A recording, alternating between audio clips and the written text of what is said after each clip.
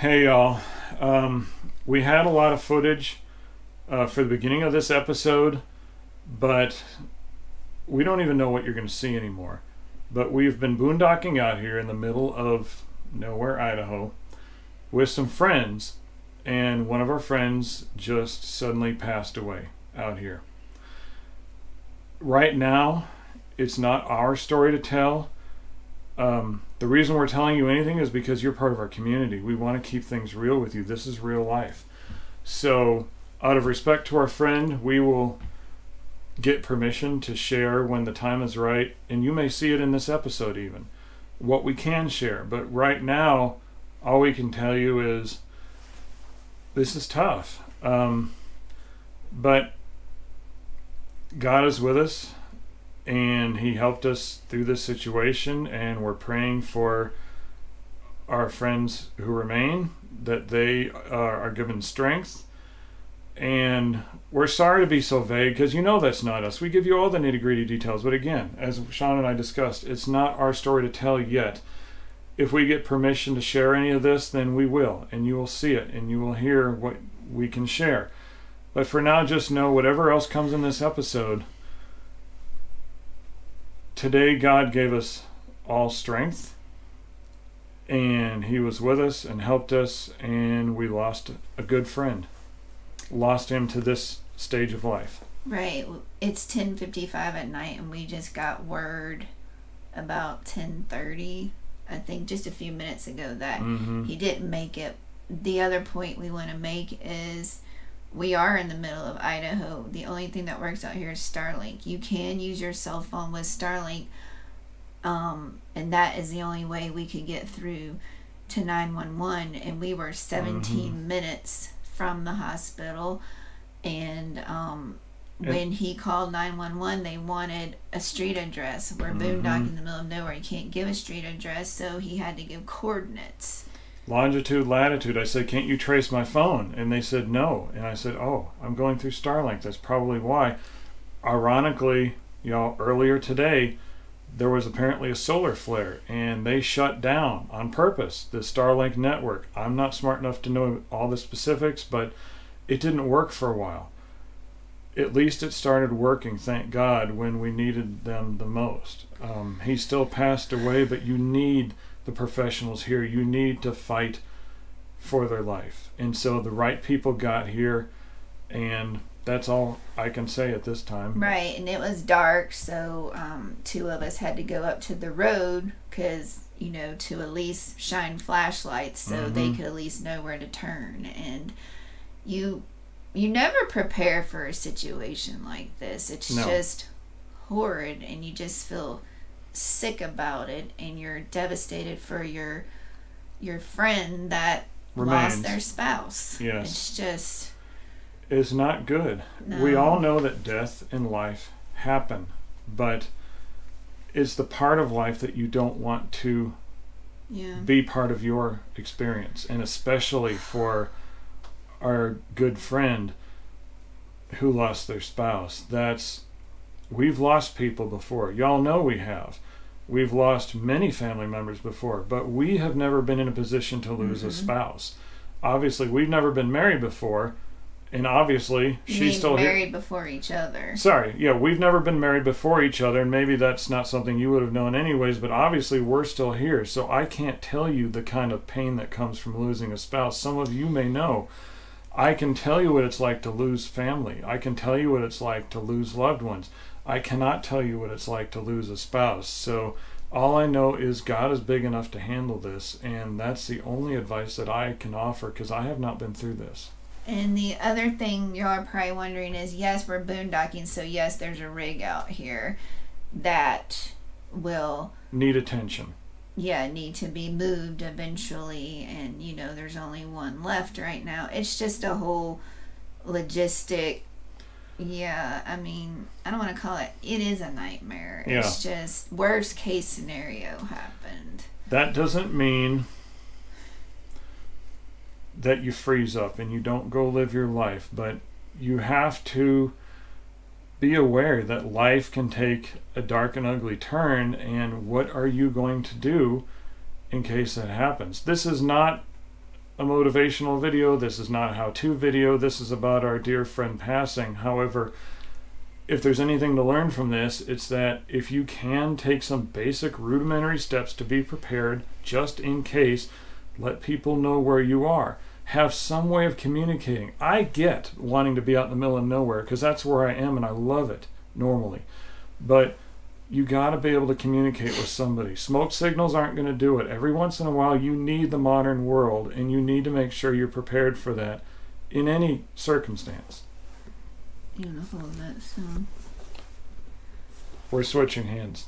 And then, um, one other thing, you know, if you have pets, then you have to think of them too. So, um, and a lot of times, me and Matthew boondock by ourselves. We happen to be Mhm. with friends this time, and another couple's with us too. So we had a lot of help. And then when you know things go on, there was a tent camper down the road who used to work for the sheriff's department, so he stepped in and helped. Everybody did what they could This was a team effort. yeah to help until the authorities got here and even when the authorities got here people were still helping and Yes. so we're taking care of the the pets um, right now and stuff like that but that's scary to think about if you were like totally by yourself you wouldn't have Yeah. any help but There is preparation. There are steps you can take. Somebody should somebody always knows where we are. And that's all the specifics we're going to give, but somebody always knows where we are. Um, we don't call, we're not little children, but they do always know where we are. Um, but there was a huge team effort in this, and do I have to say to uh, the boys in blue who came and the also because they were the first ones to come on the scene, and then there was one single officer, and then there was more. There were at least one more. And then there were uh, the second one came with the paramedics, who I believe were out of the Mhm. fire department. And to all of them, we told them, and we're telling if any of them happen to be watching, thank you for all your efforts. They did not shy, they did not skimp on efforts. They give it everything they could. Again, we're not focusing on our friend in this because we don't have permission to talk about their story. If we can, then it'll be our honor to tell you about them.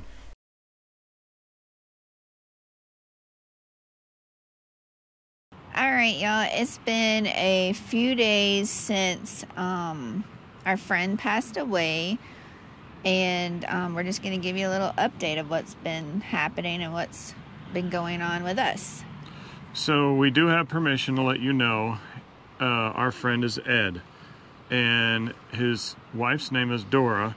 You may know them. It's a Good Life RV is the YouTube channel they have put years of their life devoting to their cherished community. So we can backtrack a little bit and provide a little more detail as to what happened. Um, yeah, we were all sitting outside in our chairs, just talking. Like we said, we're here with another couple, and um, Ed just told Dora he was going to go inside, and he never came back out. And so that's when everybody started the what medical efforts. Yeah, medical efforts were provided until the professionals could get here. And as we said previously, they took over and did a phenomenal job, gave Mhm. it everything they had. Ultimately, Ed still passed. and they had two dogs and that left Dora and the two dogs. Um, she contacted obviously her son and family where they're originally from, and her son was able to fly in the next day. And then I think on Thursday, because this happened on Tuesday, Thursday they were able they left and they were headed back to the state that they're from. Um, I don't know if they want that information disclosed, but um, yeah, so they were able to get the RV out of here. And Dora does know how to tow. She said that was one thing her and Ed made sure each of them knew how to do in case there was an emergency. The other one could still tow. But it was a phenomenally poor idea to have her go by herself. So her son flew in, even though Dora knew how to tow, her son flew in because she needed help to get, um, you know, some help driving the RV back home. Mm-hmm. Yep, and they made it home as of the time Right. of this recording. They are home with family. And what we know is they are going to be doing a tribute video for Ed um, on their channel. It's a Good Life RV. We will link their channel below. So if y'all would like to go over there and give the family some love and prayers, I'd really appreciate it. I mean, when you boondock with friends and y'all or you RV with them in an RV park and you part ways, you're like, that's the great thing about RV life. You can see them again. Unfortunately, this was a death and you don't get to see that person again. So it was a totally different feeling. We were very sad when Dora and her son left because we just saw the RV come in and now it's leaving and we didn't get that much time with them. They literally came in that Tuesday and he passed Tuesday night.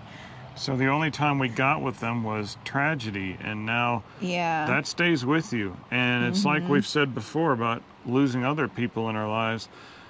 Sudden deaths, I think, and we think, are right. the hardest. It's like somebody gets up and leaves in the middle of a conversation, and then that's it. It's over. And we had our other friends still here with us, Pee Wee and Martha, and they were going to leave Friday, but they decided to stay a few more days. So we were still able to be here with some friends and not be totally isolated dealing with this. But yeah. just love on the people that you have in your life because it's just sometimes it can just end suddenly. And to that note, I just repeat one thing that we said in the first clip you saw that I remember. Wherever you are, please make sure, no matter how far away you are, oh, I'm an hour from civilization, fine. Have a way to communicate. I can't stress that enough. Don't be hard headed. Have a way to communicate. It's not wise to go any other route. You're currently watching Dora and her son David going home to his home. Unfortunately, y'all, time just doesn't stop for us to totally sit down and process everything that just happened, as much as we wish it would. The video that follows shows our real life after Dora left. And even though at times you're going to see some smiles and hear some laughter, please just know that through it all, we do dearly miss our friend Ed and are always praying for Dora.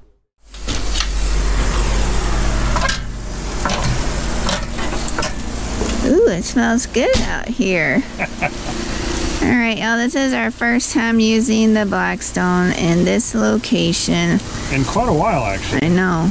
Well, we used it at Indian Rocks.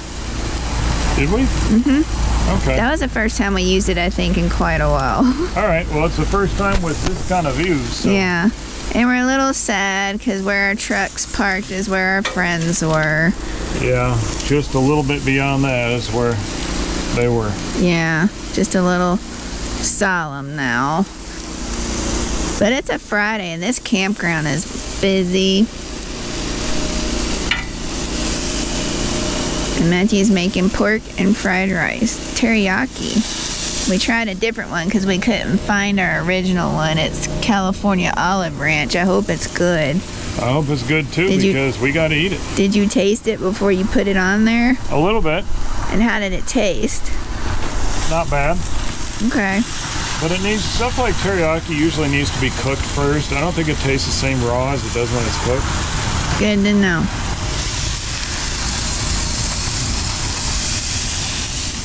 That view is just so amazing. Like you're cooking in a pitcher. Mm-hmm.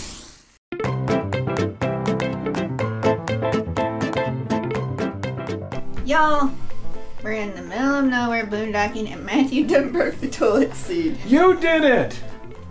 I was down here checking on something on the computer, and all of a sudden I heard boom, and I'm like, wait a minute. It's a soft closed toilet lid. You know, the very top of it, the one that covers the whole tank and everything. He used it first, and then I went in after him, and then I looked back at the toilet seat after it made the noise, because, like he said, it's a soft close, and it's all off kilter. And I'm like, Matthew, and he came in there and he said, "You raised it up, and the plastic it has plastic hinges." And he's like, "How did I? How did you break it?" I said, "I didn't break it. I'm little." Listen, He-Man, you broke it. And then so Matthew's like, "Oh no problem. Let me look on Amazon. Ninety-three dollars." I said, "We can deal with it. It still covers the bowl." Ninety-three dollars is everything got to be so darn expensive? I mean, come on. How does it break? It's a soft close all you do is you get it started a couple inches yeah. and then it just no ours went all the way down i'm like how did she slam the maybe lid? if we're brave enough we'll show you what it looks like but you don't need to see we'll a just, toilet you know what it looks like yeah he broke it you Hey y'all. Hello. So we are getting to explore today. It's Saturday, Mm-hmm. and there are like 50 something trailheads here just in the Ketchum area, right? There's a lot of trails, a lot of mountain trails. So um, I think the name of our trail is Milner Lake if you insist on telling them, yeah, something like that. Let me see. Miner Lake and Oh. Prairie Lakes Trail. But anyways, um, it was 30 something this morning, but we're not going to carry our big jackets. We're debating on whether to take the raincoats. There's no clouds in the sky, so that's where we're Yet. at. Yet. This Mm-hmm. is Idaho. It can always rain. Yeah. All right, y'all. We are gonna start our hike at Miner Lake and Prairie Lake Trail. We there were 50 trails, and apparently we picked the popular trail. Every trail around here seems to be popular, y'all. And this is our first trail we've done that's designated hard. So we'll see if we make it. Right. All right, y'all. First creek crossing. See if she can do it. Nobody said it was safe. They just said that's the crossing. Right. Come on. No. You can do it. It's Bear Grylls, everybody. Don't go in the water. All. Right, y'all, we're starting to get the views. As I said, we're in a gulch. Look at that. All right, another creek crossing. Let's see if she can do it. Creek crossing, like, oh, that's cheating. Boo. No, I can still fall in. Okay, all right, it's still adventurous. all right, y'all, let me show you around. Look at this view. And this isn't even as good as it gets, y'all. It gets a lot better than this. So I've been told. All right, y'all. Looks like we're going through a tree war zone here. Yeah, I don't think the Rangers have gotten up to this part yet. My goodness, Matthew, how are we gonna get by this? Well, let me show you how it's done. Actually, That's what I was thinking. Go through the trees. Oh, you're gonna go. Watch and learn, folks. Watch and learn. See if he'll do a log dance for us. Okay. only a few more to go. Oh my goodness, y'all. It's like a three war zone. Don't stand up. All right, good. Alright, y'all, let's go under this one together. Oh no, look what's up ahead. Don't think we can go under that one. No, we're not doing the marine crawl. Oh, I think you might can go around it. I might can go over it. Uh, me and the peeps are going around.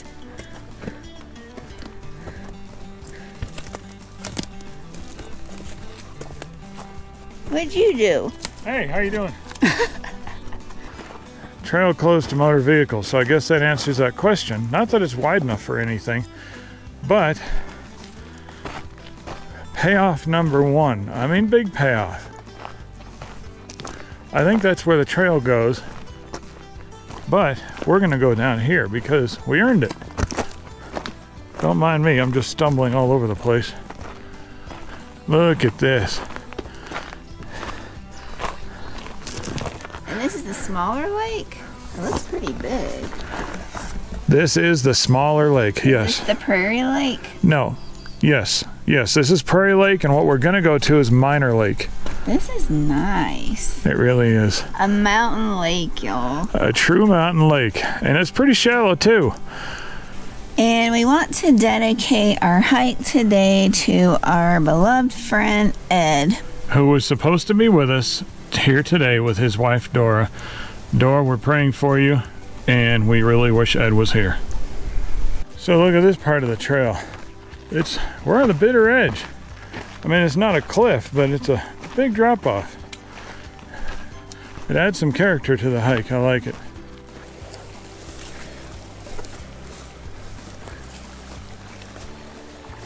Does that work better? All these rocks are loose.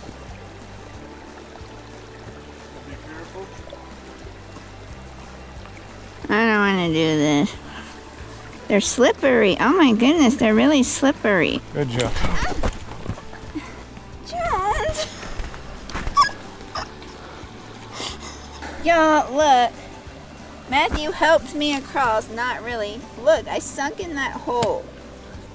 Did that you, hole right there. The one we didn't know was there. Did you not see the hole? Did you not see the hole? I wasn't looking. I was holding your hand. Yo, I went up to there. Oh. It's his fault. It's not my fault. Don't let him help you cross the creek. Now, you think I could wash my shoe off in here? Yes. That's called the dirty boot shuffle. All right, y'all. Here is the second lake. This is Miner Lake. I told you it was bigger, and it almost looks like a moon crater or one of these asteroid craters, doesn't it? Look at this. What do you think about it? So a crater all the way around except for where we came through at, but it's another uh, mountain lake. I'm not sure why they call it Miner Lake because it's not minor, but it's not much bigger than the other one either. Uh, there must be a history behind it, but there's a cool breeze. This is every bit as beautiful as you think it is and yeah, more. It's gorgeous, y'all. Look how clear the water is.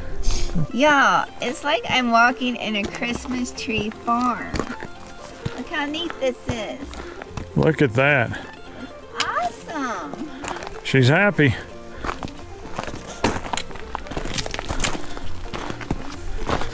And then let's pan up here to the boulder field. Hey, you need a rock? There it is. Found it. Look how cute it is. Ooh, that's sharp.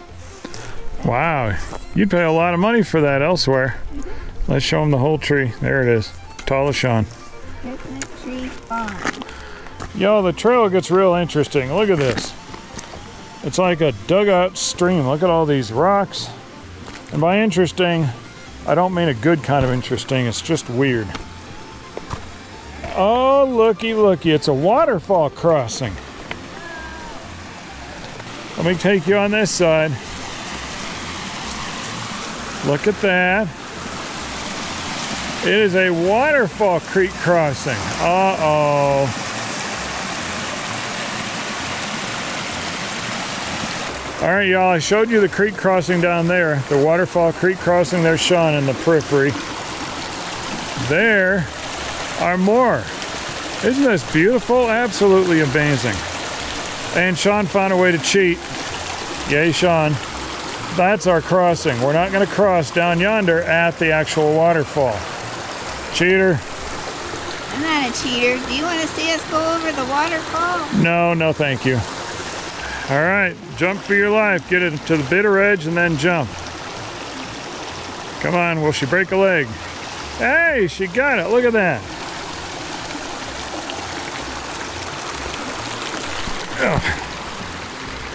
Y'all have heard it before. Watch that next step. It's a doozy because it leads to a waterfall. All right, let's zoom on in and see this waterfall. There she is. Look at that. It goes up from there and down. So if there's one thing I know about the return trail, um, there's a lot of boulders, a lot of big rocks on this one. This is actually pretty tame compared to what we just did. Yeah. This is crazy. How are you supposed to cross this? She said, how are you supposed to cross this? Put it on me and let me show you. let the pros do it.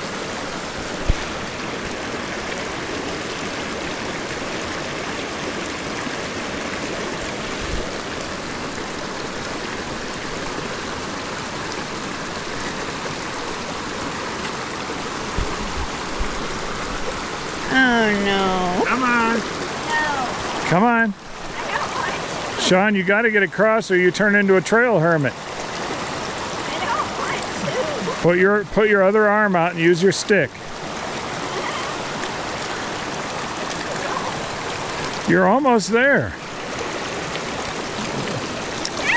That's so squishy.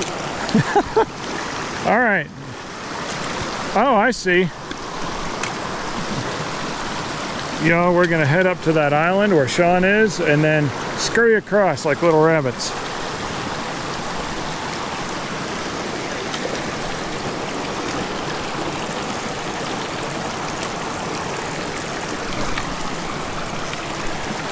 You ready?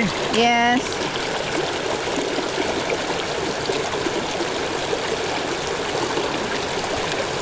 Wet, it's very slippery. Give me your hand. Now pull.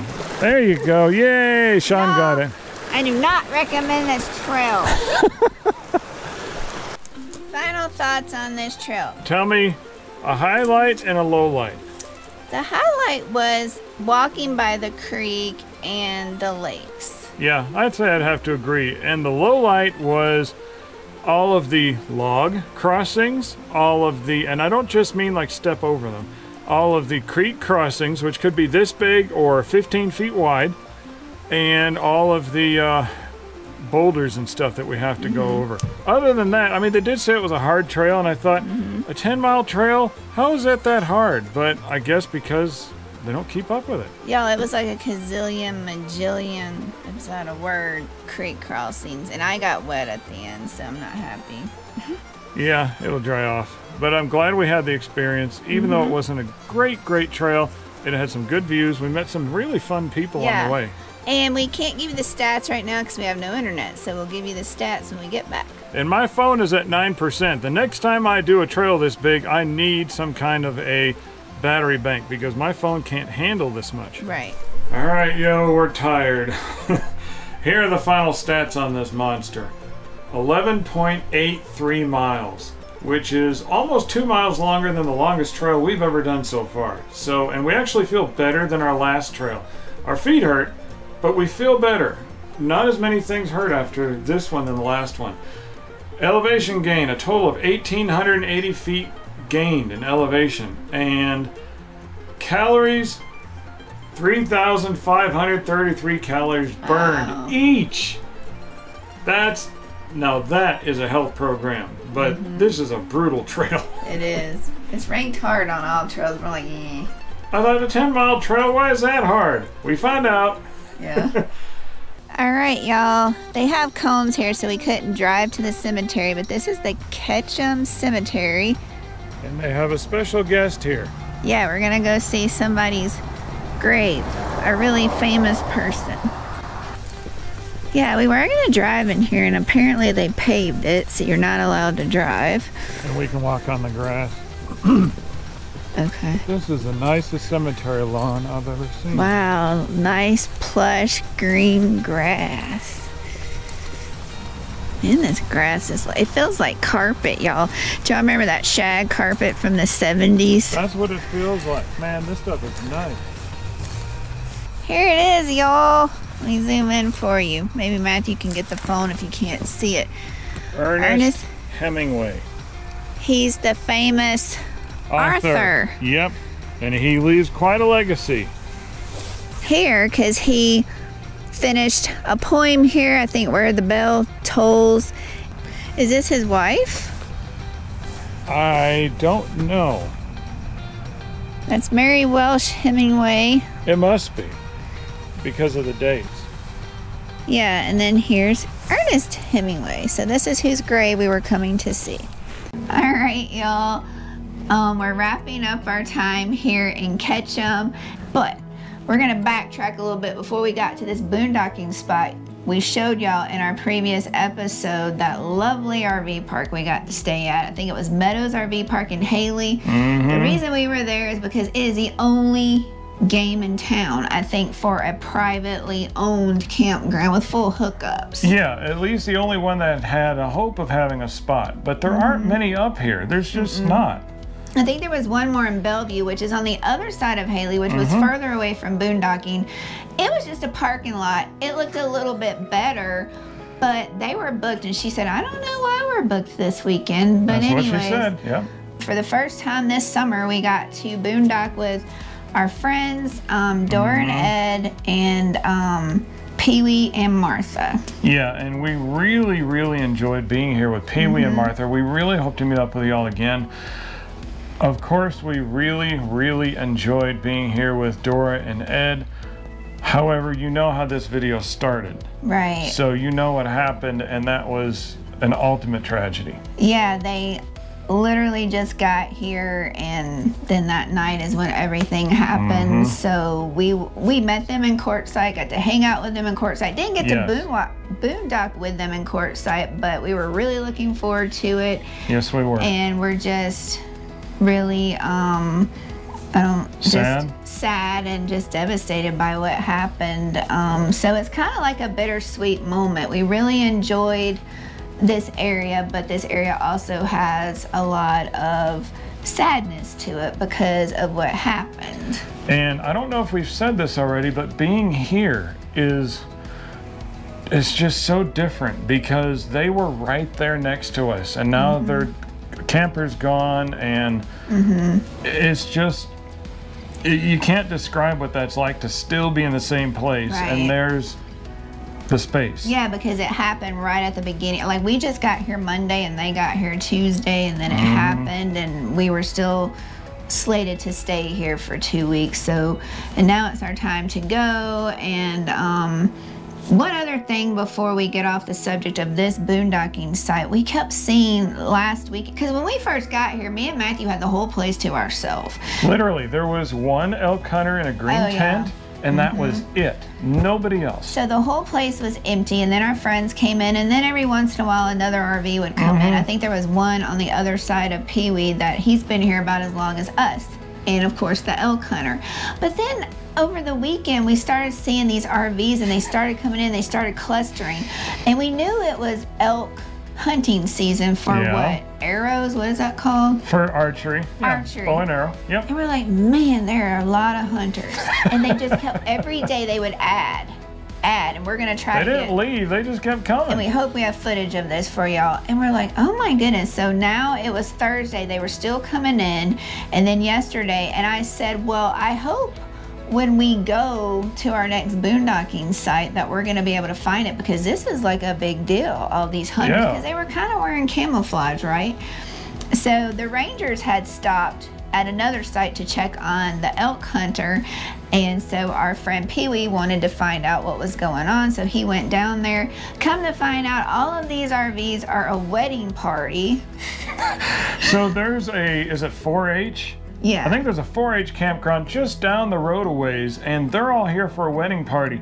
If I were to guess, I would say there's at least 20 rigs. 20 to 30. And The last time I counted, there was like nine or 10, and it's more than doubled since then. and they've so- really crammed in there. And Oh, yeah. We thought they might get all the way down the road. It's close, y'all. And now this next little bit, I'm sure the BDR community are not the ones doing this. So if you know somebody and they like to speed down dirt roads, maybe you could whisper something in their ear just for us. If they happen to see someone camping off the side of the road like we do, or walking, hiking, riding a bike, whatever, maybe they could slow down and look in their rear view mirror and see how big this massive dust storm is that they're creating so it doesn't assault people like us as they drive by. Maybe you can tell that's happened to me a time or two, but just friendly reminder. Yeah, we were having a campfire and we were all like doing the motion of slowing down. And then finally, Matthew had enough today because they were flying down. He's like, slow down. And it's not just kids, y'all. I'm not going to call out any names or ages, but well, I don't know names, but ages, but there are people of all sorts who are just treating this like it's NASCAR. Yeah, I mean, that dust really travels, it really kicks up, and it's like you wouldn't want that if you were sitting outside of your RV. Or cooking outside. or if you're hiking or riding your bike. So, um, yeah. Check the rear view mirror, and that'll show you how big your storm cloud is behind you. and one final note is, of course, as we started out this episode, this whole thing is dedicated to our good friend Ed and his family. So, to Dora and the rest of your family, if y'all are watching, we're praying for you. And I don't know if you've seen on our Facebook page, but hundreds of people are praying for you. We've seen on your pages a lot of people have said that we've got a big family here, and you got a lot of people who care about y'all. So, keep on keeping on, keep your head up. We're praying for you, and that's not going to stop.